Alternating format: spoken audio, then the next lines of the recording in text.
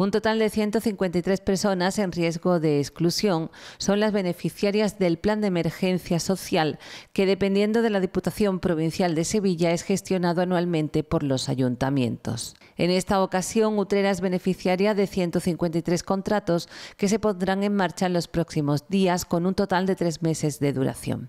Estas contrataciones, según ha explicado la delegada municipal de Servicios Sociales, realmente vienen a representar una ayuda para aquellas personas cuya situación económica es tan difícil que no pueden estar en espera de bolsas de empleo, sin que al menos una ayuda que les permita sobrellevar parte del tiempo que pasa entre una contratación y otra.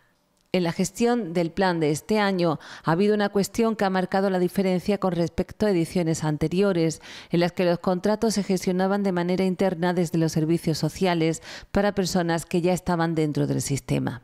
En esta ocasión se ha abierto a la población y han podido optar a esta contratación cualquiera que cumpliese los requisitos que establece esta convocatoria.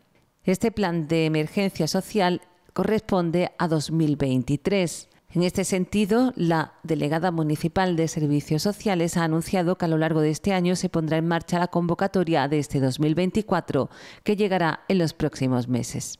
Hacer la convocatoria extensiva a toda la población también era algo que preocupaba a la Delegación Municipal de Servicios Sociales, porque realmente no se sabía cuántas personas se iban a presentar. De hecho, se han recibido el doble de solicitudes que el año pasado, un total de 470, de las que se publica inicialmente un listado con la relación de admitidos y desestimados, y se abre un plazo para que las personas que tengan que subsanar alguna documentación puedan hacerlo. Finalmente se publicará el listado definitivo de las personas adjudicatarias de este plan.